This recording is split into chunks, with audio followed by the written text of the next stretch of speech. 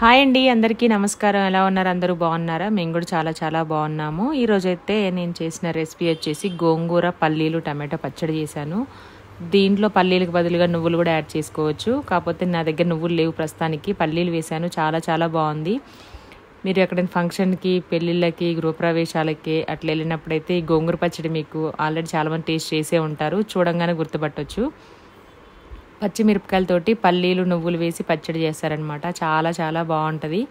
తప్పకుండా ట్రై చేయండి. ఎప్పుడు చేయని వాళ్ళైతే ముందుగా ఒక పిరికెడ పల్లీలు బాండీలో వేసుకొని లో ఫ్లేమ్లో ఫ్రై చేసుకోవాలి. అవి చల్లారిన తర్వాత పొట్టు తీసుకోవచ్చు. తీయకపోయినా పర్లేదు. నేనైతే పొట్టు తీయలేదు డైరెక్ట్గా వేశాను. కారానికి సరిపడా మిర్చి వేసుకొని నీట్గా కడిగి మిర్చిని రెండు ముక్కలుగా చేసేసుకొని అదే బాండీలో వేసుకొని ఒక స్పూన్ ఆయిల్ వేసి జీలకర్ర వెల్లుల్లిపాయలు వేసి ఫ్రై చేసుకోవాలి. నేను తీసుకుంది ఎర్ర గోంగూర కాబట్టి పులుపు ఎక్కువగా ఉంటుంది. అందుకే మిర్చి కొంచెం కారంగా ఉన్నవి ఎక్కువే తీసుకున్నాను. ఒక టెన్ ఫిఫ్టీన్ వరకు ఉంటాయి. ఆయిల్ వేసినప్పుడు మనకి పేలిపోకుండా ఇట్లా ఉండడం కోసం రెండు ముక్కలుగా కట్ చేశాను అనమాట స్టీల్ కడాయి కదా తొందరగా హీట్ అవుతుంది. ఆయిల్ వేయంగానే పొగ చూసారు ఎట్లా వచ్చిందో. మామూలుగా వీడియో చేసేటప్పుడు మాత్రం ఇక్కడ వాయిస్ ఓవర్ ఇస్తున్నాను కానీ రియల్ సౌండ్ లేదు. మా పిల్లలు స్కూల్ నుండి వచ్చిన తర్వాత ఇది నైట్ టైం చేస్తున్నాను.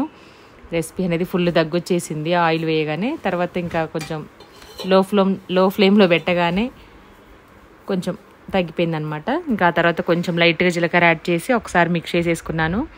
మిక్సీలోనే పడుతున్నాను.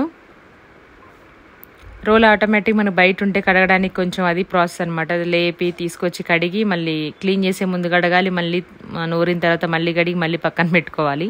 బయట అయితే మామూలుగా మనకి ఊర్లలో అయితే అక్కడే తీసేసి అక్కడే ఒక మగ్గులో తీసేసుకొని వాటర్ క్లీన్ చేసుకోవచ్చు. ఇక్కడ అలా కాదు. రోల్ లేపి పైన పెట్టాలి. నాకు అసలు షోల్డర్ పెయిన్ ఉందనమాట అందుకే ఇంకా అవన్నీ ఎందుకనేసి కొంచెం మరీ పేస్ట్ లాగా అవ్వకుండా కొంచెం జాగ్రత్తగా చూసుకుంటూ మిక్సీ అయితే చేస్తాను పచ్చళ్ళు.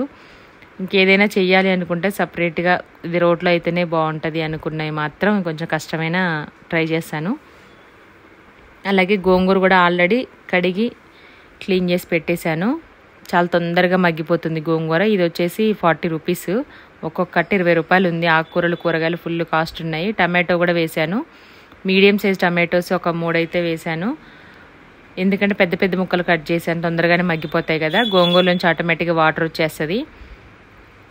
ఇందులో టమాటో కూడా యాడ్ చేశాను కాబట్టి మిర్చి కారంగా ఉన్నాయి. బాగా స్పైసీగా ఉన్నాయి. మేమైతే తేజీ మి తేజ తేజకాయలు అంటాము. తేజ మిరపకాయలు బాగా ఎక్కువ కారంగా ఘాటుగా ఉంటాయి.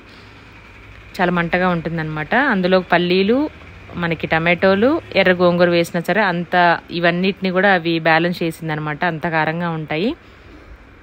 కొద్దిగా రాళ్ళు యాడ్ చేసుకొని ఫస్ట్ ఒకసారి ఇట్లా మనం ఆన్ అండ్ ఆఫ్ చేసామంటే మిక్సీ సరిపోతుంది.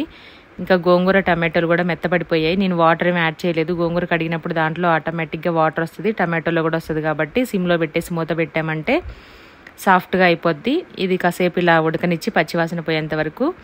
స్టవ్ అయితే ఆఫ్ చేసేసాను. చూసారా ఇట్లా మిక్సీ అయితే పట్టేసుకున్నాను అనమాట మరీ పేస్ట్ లాగా చేయొద్దు మరీ ఇట్లా చేయొద్దు. ఉప్పు కారం సరిపోయిందో లేదో ఒకసారి చెక్ చేశాను. సరిపోయింది. కాకపోతే గోంగూర వేసిన తర్వాత చూడాలి.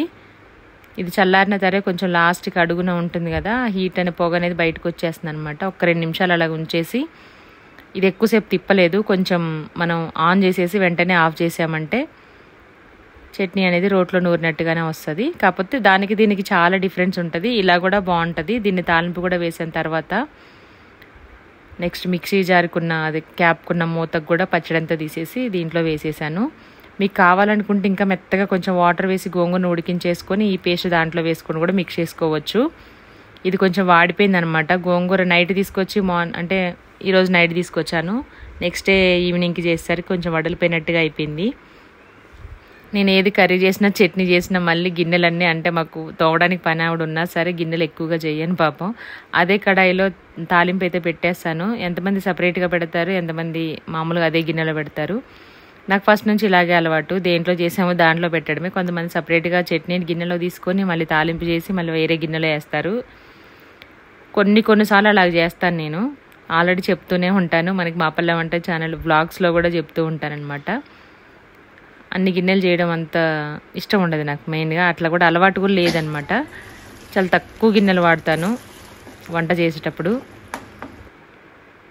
వెజ్ నాన్ వెజ్ సపరేట్గా చేసినప్పుడు ఎవరైనా తినని వాళ్ళు ఉంటే కనుక ఇంకా అప్పుడైతే వేరే వేరే యూజ్ చేస్తాను. ప్లేట్స్ కానీ గరిటె కానీ పోపు కానీ వాటికి పండగలప్పుడు కానీ వేరే గిన్నెలు ఉంటాయి కదా అలాంటి టైంలో యూజ్ చేస్తానమాట ఇంకా గోంగూర పచ్చడి అంటే పచ్చి ఉల్లిపాయలు లేకుండా మనకి కంప్లీట్ అవ్వదు ఈ రెసిపీ అనేది.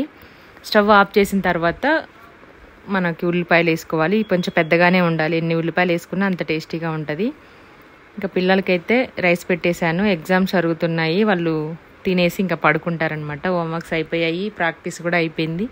టీవీ చూస్తున్నారు ప్రస్తుతానికే. నేను వాయిస్ ఓవర్ ఇవ్వచ్చు. ఏం సౌండ్ రావట్లే కానీ టీవీ చూస్తున్న పొద్దున్న దాకా స్కూల్కి వెళ్ళి వచ్చారు కదా. పాపం కాసేపు రిలాక్స్ అవుతారనేసి వాళ్ళు టీవీ చూస్తుంటే నేను వంట చేసేసుకున్నాను.